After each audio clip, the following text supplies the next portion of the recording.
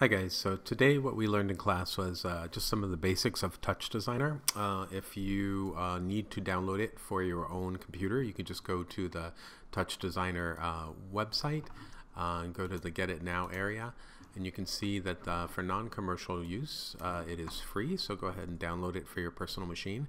the limitations are 1280 by 1280 for video or images. So something to keep in mind when you're, you're working with the free version.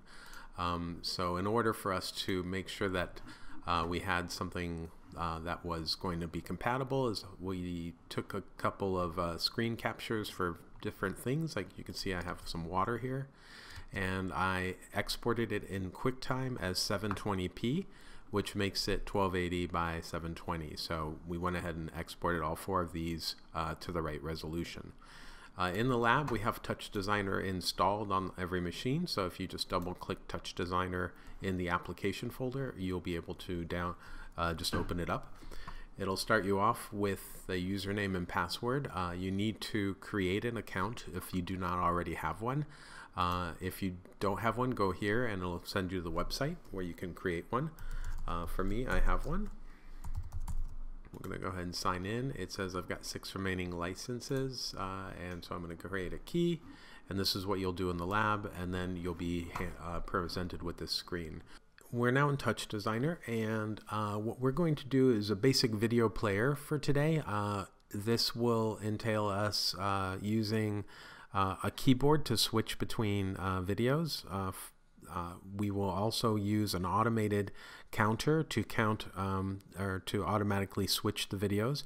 And then finally, we're going to use a MIDI slider to allow us to crossfade um, between multiple videos um, in this presentation. So let's get started.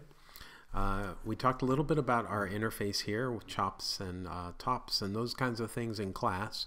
Uh, you guys all know that uh, each one of these modules or nodes here uh, is all the information about each one is located in, the, this inspector window here. Currently we have our frames per second set to 60. in class we lowered these to 30. Um, doesn't matter, but you can put them at anything you want. And uh, we have this timeline playing from uh, 0 to 600, um, as you can kind of see. And that'll be useful in the future because we'll be needing that number eventually. Um, but that allows the movies to actually play. Uh, if we click on any one of these nodes to select it, uh, you can click on this little blue uh, dot here by the plus and you can actually show that in the background. So for instance, if I want to show this one, you can see that this movie file in is static and on this side uh, you can see the output is dynamic. It's actually using this noise um, chop. Uh, to modify it. So I'm going to turn these little blue dots off and on uh, throughout this presentation so you guys can see this.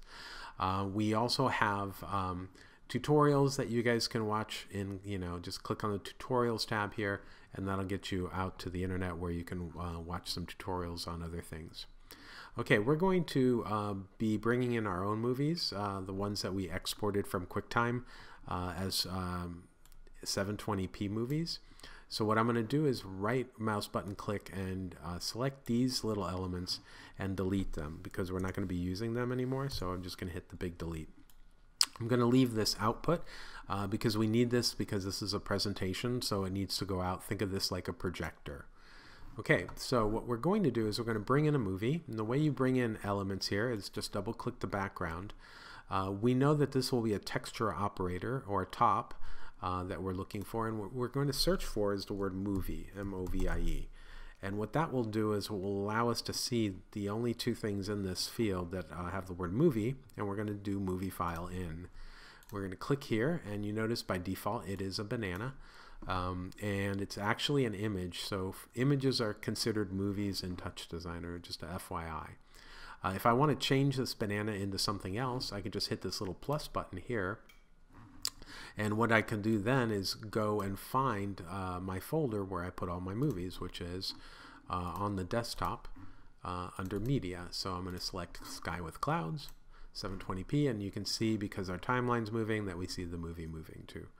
Uh, I can connect this by clicking on the right hand output here and putting this into the left hand input on the out and you'll notice now I have a movie playing on my output uh, this is what's playing, right?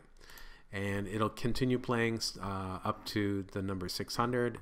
Uh, by default, this movie is set to loop, uh, so you can kind of see um, where it has the word uh, repeat and then loop. Uh, you can change how fast it's going. You can change the speed of it, make it slower, so you can slow it down, 0.5. Uh, now it's going much slower as you can kind of see, or you can speed it up to like 2. So there's all the things that you can do here um, to make this movie either, you know, go faster, slower, those kinds of things. So every movie file in has that ability. Okay, turn this off so you can see it. Okay, this is interesting, but not that interesting. Uh, the next thing we're going to do is like bring in the rest of the movies. The easier way to bring in a movie is just to physically find it. Here's our media folder with our movies. And all I'm going to do is just drag these movies in one at a time until all four movies are in my space here. And then I'm just going to arrange them to the on the left hand side just by clicking on them and dragging them. And you can see that uh, if I tried to uh, show you this movie in the output in the projector, uh, it will replace the previous movie uh, cord and it is now the thing that's going out. And the same thing is if I try to, to attach this to the output, it replaces the cord. So I have to physically do this every time I want to change the output, uh, you know, to change the movies. And that's not uh, a very interesting movie player. So what we're going to do is we're going to switch these um, automatically using our keyboard. And here's how we're going to do it. We're going to double click in the space here and what we're going to do is type in the word switch, S-W-I-T-C-H, and you'll see in our tops there is a switcher that allows us to switch between inputs. And you'll notice that the input for the out is very thin here, but the input for the switch has uh, is very thick. And so this allows us to put as many things as we want into the switch. You can kind of see there's one, two, three, and 4. So now we have four items going in our switch. Now the switch is going to replace them this this cord. So one thing you can do is you can right click on the yellow cord to disconnect it like this. Or you could have just replaced the switch cord with the moving water cord just by putting it into the output like we did before. So far it looks like the switch is not working because it's just putting in this movie file here. But if you click on it, you'll notice that you do have a slider here. And if the slider goes above one, boop, it changes to the next movie. If the slider goes to the next number, two, it changes to the next movie and the next movie, etc., etc. So if you had 50 movies, that switch could change. That slider could keep going. So we've got our movie uh, player here, which is working great, but it would be nice if we could switch this using like the buttons on our uh, keyboard, like maybe the numbers one, two, three, and 4. So that's what we're going to do next, is we're going to use our keyboard uh, to control this switch. So we start by double clicking the background and this time instead of the texture operators we're going to go to the channel operators because this is where we can get our keyboard in and you'll notice they have a lot of inputs uh, that you can select. Um, but we're going to only need uh, the keyboard in for now. We'll also be using MIDI in later, but for now, keyboard in. Uh, and this is how it works. We have the keyboard in. We look at our inspector up here, and it says it's only looking to see if key number one is pressed. So if I press key number one, you'll see something happens. If I press key number two, nothing happens. So key one is the only one being looked at. So First thing I need to do is actually add some keys here for it to, to keep an eye on. So I'm going to hit a comma or put a comma in and put 2, comma, 3, comma, 4 because I know I have four videos here, one, two, three, four. Now if I push the key number 1, great, 2, great, 3, great, 4, great, 5, nothing happens. Perfect. So at this point I have to actually hold the key down in order for me to have this key actually on. As soon as I let go, it goes back to 0 which is not what I want. Okay, so I'm going to need another operator in order for me to have this toggle down. And the operator we're going to select by double clicking the background, uh, we're going to select the logic operator, L-O-G-I-C. And what this will do is if I hook this keyboard into the logic and you push one, two, three, four, it doesn't do anything right away. But you'll see that if we go to channel pre-op, I can actually select radio button. And what that does is it remembers the last choice. So I push one, it's on one. If I push two, it's on two. And if I let go of the two, it stays on two. Three, three, four, four. You get the idea. Okay, so so far pretty good, but here's the problem. Our logic has four different possibilities, uh, and it's pushing out four different channels of data. And I only want one thing to come out. I want the number one, two, three, and four. So we have one more chop that we need to put in, and that's called the fan. And what a fan does is if I put that in here, uh, a fan actually is kind of like when you're dealing cards. Uh, it gives, uh, takes one deck of cards and it fans it out to many people. In this case, eight people. Uh, that's great if you have one input and you want to give it to eight different people. Uh, we have the opposite issue. We want four things to turn into one thing, and the way we do that is we go to our fan, and we, instead of fanning things out, we're going to fan them in, which is the opposite. Once you do that, you can do one, two, three, and four, and you notice that it only keeps that one input based on our keyboard input. Okay, uh, at this point, this is a number that we're ready to hand over to the switch, but uh, normally what we do, in case we want to add anything else, a little bit of math or something, is we put one more operator in called the null. And the null does absolutely nothing, hence the word null. Uh, but it is useful because it acts as like a placeholder uh, for this last uh, element. So if we do need to add any, or change anything in the sequence, it will allow us to change things. Okay, how do I get this number, 1, 2, 3, 4, into, or 0, 1, 2, 3, because it's four things, how do I get it into this area here, this index? Because that's what I want to change, right? Um, so this is how you do it. You select the null operator. You could have done it with the fan as well, but the null. You hit the little plus button, which kind of locks everything up. So now I can actually grab the value here. And what I do is then I, I'm going to drag this into this point, this area, this box here. So I'm going to just click, hold, drag, and let go, export chop. And what that does, as you can kind of see, it allows us to uh, take the value of this null and put it into this area that's called index. Really what it did, if I click on this, it'll say, hey, take the null 1 uh, and give me the k value. And you can see the k value is like 0 now. And then if I click it here, it's like two, one, three, and that's really all. You could have typed this right here if you had wanted to, just like this. Uh, but that's how you do it. Uh, I can undo this by just clicking it. And now we have a way of switching using our keyboard. You can kind of see uh, one, two, three, four, um, switching between uh, the four different videos. And you could go higher if you want. Okay. The next thing I would like to do is go over how do I automate this? Say I don't want to use the keyboard to switch between uh, these four videos. Uh, is there a possibility of just counting them or automating the, the switching uh, based on maybe time? Uh, let's go ahead and try that. So we're going to take our switch here and I'm going to copy it and now I'm going to paste it again and when I paste it, I get a secondary switch. You can kind of see it here with all the inputs already in there. Uh, but this time there's a, a, warning triangle and the warning says export not found. Um, that means that there is no nothing that it's going to, right? So if I were to now connect this to the out, now it's working um, and it's saying it's missing a parameter, an index parameter. And we, we knew that that was going to be the case because we use the index parameter here, right, with the null, but we didn't give this the parameter. It's actually missing that there's nothing here. It was looking for this, but it doesn't have one. So what we're going to do is we're, we're going to create a new parameter to put in here, and um, let's go ahead and do that right now. So we're going to count from 0 to 3 automatically, and we're going to use a count um, node uh, located in our uh, chops area, so count.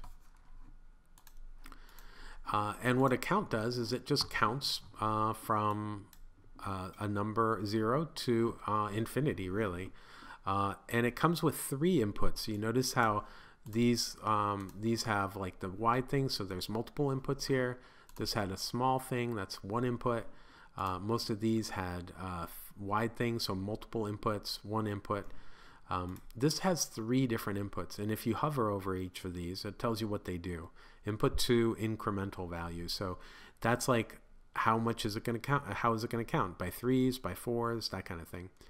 Uh, input one is a reset button. So if you're counting up to you know a hundred or a thousand or a million, and you want to reset it back to zero, you would you would actually need something in here that would tell it to go, hey, start over.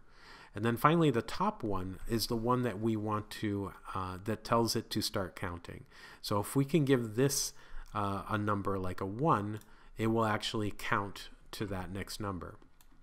And then here's how it works. Uh, we're going to need something to drive this, to, to make it count. And what we can use, if we double click here, is something called an LFO. Uh, and this LFO, and you can kind of see an LFO is a low frequency oscillator, and it just oscillates back and forth. Uh, every time it hits that one number here, it will actually initiate a count. Is what that's our hope, right? So we're going to take this uh, this thing, this string, and we're going to put it at the top of our counter. And as soon as we do that, you'll see that every time it hits the number one, one, one, it counts up and it starts from zero and it's counting up and it will keep counting uh, without limit uh, forever and ever uh, until we reset it until we put a, a, a number one in here uh, it says input reset and then that'll start it over but our counter does have the ability to uh, count from a minimum to a maximum under this tab here under count uh, currently we don't have any limits to our counting but if we put it on loop this allows us to count starting at zero and going until, and in our case, until the number three, right? So now it'll start at zero uh, and go to three. Now the reason why it's not doing that, I'm going to right click on this and uh, disconnect and then reconnect it just so you can see uh, is because we started it halfway uh, while it was counting and it just anyway but now it's counting from zero one two three and then it's back to zero so this is a way that we can drive our switch, right? So we're going to do the same thing as we did before. We're going to create a null, uh, put our count into the null, lock our null up, select our switch, and then we're going to select the inside of the null, click and hold, and drag it onto our index, export as chop, and notice that warning goes away, and uh, you can see without me doing any work uh, that these um, the background is actually changing automatically, right? Uh, let me close this up so you can see it. And this is based on this frequency uh, right here. One, it it's usually it's one change per second. The frequency is one, so it hits that number one every second. Uh, if I wanted to slow this down, I would change the frequency to like 0.25 and that would uh, slow this oscillator down and then this would only change once every four seconds because 0.25. Now notice that we still have the the ability to use this switch one two three four with our keyboard right? So we're, we're actually able to like move this around. This is the one that's automated. So would be cool if we can actually use both of these uh, and fade between them so, uh, so that both of them could go to the out. Because currently we can either just use our keyboard right? This is just our keyboard. Or we could use this guy, which is the automated one, when our keyboard's not working. So how do we be how do we create something where both of these can actually be going to the out point? Uh, that's what we're going to do now. Okay, so double clicking in the background here uh, uh, will allow us to uh, open up our tops and we are going to be using a cross fader, C-R-O-S-S. And that allows us with two inputs to put a one movie in the one side and one movie in the other side, as you can see. And then if I output this cross dissolve to the output, you'll see right away that I can see both movies playing at the same time because our slider here is set to 0.5. That means it can see the top one as well as the bottom one, 50% for both. If I move the slider back and forth, you can see how it cross dissolves between uh, these two movies. And I can use now my keyboard as well as the automated switcher to switch between these two. So now you're probably wanting me to like figure out is there a better way to be able to modify this slider so that we can do it uh, using the keyboard, um, music keyboard that we have attached to our computers here. And the answer is yes, that's what we're going to do next is we're going to hook up a MIDI slider uh, to control this cross dissolve. Okay, so uh, review. We've got four movies. We brought them into a switch. Uh, we used keyboard uh, input to allow us to switch between the different movies. We then created uh, an automatic counting machine that counts from 0 to 3 and then loops to control our secondary uh, switch. We then put them into a cross dissolve, which allows us to go between the first one and the second one. Um, and now what we need is a way of being able to control this number here um, using some type of slider that we have physically uh, on our MIDI keyboard, and that's what we're going to do now. So before we start, we have to actually tell Touch Designer that our keyboard exists. I think I've already done it for me, but here's how you would set it up in the lab. So you go to Dialogues, MIDI Device Mapper, and you'll notice that there are so there are no map devices for my thing here so we're going to set one up. We're going to create a new mapping uh, and then I'm going to click this down area arrow so I can find my MIDI keyboard which is attached which is this one. We're going to make the output the same thing although we're not sending it MIDI data we're only receiving it and currently there is no MIDI mapping. Now, if you were lucky enough where your keyboard happened to be in this list, congratulations, you won the lottery. Uh, but otherwise, uh, normally none is what you're going to have here that actually are your keyboard. So what we're going to do is we're going to make our own mapping because uh, it's not in the list if it's you know one of the computers in the lab. I think the Oxygen 8s are in the lab, by the way. But the way you make your own mapping, and which is what I want to do, is we're going to select Add Device, and then you're going to select that device, and you're going to call it something. I'm just going to call it FAUR because that's me. Uh, the keyboards have buttons as well as sliders and what I'm going to do just to make life easier for everyone is I'm going to remove all the buttons and I'm going to remove all the sliders that are preset here so that we start off with a completely blank slate. Okay, so my MIDI device 4 right, has no sliders, no buttons. I'm going to add a slider by selecting Add Channel to the slider area. And I'm going to move my first slider on my keyboard here. And you can see when I do that, I get a value between 0 and 127. And the message is B000, and then this number is changing. So in order to, to set this slider in our map, I have to type B0 space 00 space dash dash. Dash dash means whatever value is given here, and then hit return. Uh, I have now successfully mapped my slider 1 to my first slider. If I move slider 2, watch the numbers here, notice that it's exactly the same as the first slider, B0, except it's 0, 1, and then all dash dash. So if I wanted to add a second slider, I just hit Add Channel. I could copy this, paste it, but change this number here to a 1 and you get the idea for channels 3 you could, you could copy and paste and change this to 2 assuming that's 2 you can check right by moving the slider. And lo and behold it's 2 and then finally uh, do number 3 so now I have four sliders uh, mapped and I can double check um, and I have no buttons mapped now if you needed a button we can go over the buttons as well but currently I'm just doing sliders okay if I go back to my device mapping, I still haven't selected the map that I want to use for this slider control. So what I need to do now is select this down arrow, find my map, select it, and now I'm good to go. I can close this up. Now that you have your MIDI device mapped, all you need to do is double click here, go to your chops, and just like keyboard in, there is a MIDI in. Now you don't want to use the MIDI in, you want to use the MIDI in map because you just made the map, right? click that and you'll notice there's one, two, three, four sliders. And if I move the sliders, one, two, three, and four, and they go from zero to one, which is perfect because my cross dissolve goes from zero to one. So how do I add these sliders to this cross dissolve? You probably already know.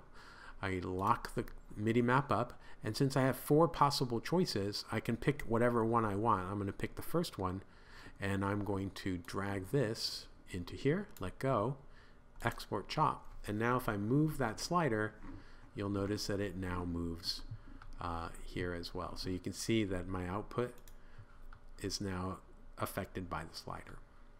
So finally, if we wanted to uh, now present our project here uh, with the, the work that we've done, uh, we will need to uh, actually go to display mode. And the way you do that, I'm going to turn this little button off, is in the upper left hand corner here you see uh, perform mode. And if you click on this button, you'll get this screen and you'll notice it's not full screen until you hit the green button. But uh, as it stands now, you can use the keyboard inputs to change things uh, and make it full screen. And so we've got our keyboard inputs as well as our sliders working uh, so that you can switch between different things. Uh, and then this is the performance mode.